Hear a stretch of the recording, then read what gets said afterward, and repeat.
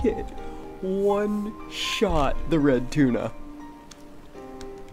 What does the red tuna look? It's just a small little boat that's really dumb. Tunas are big though. Yeah, or red tuna.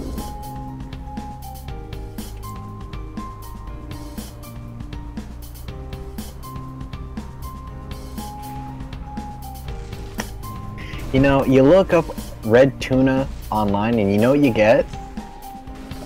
Animal Crossing?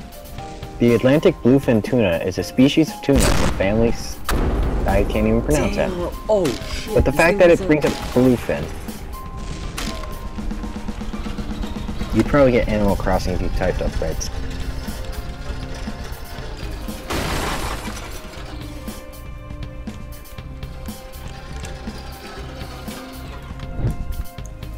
No. Not even on the first. That's why this thing's so terrifying.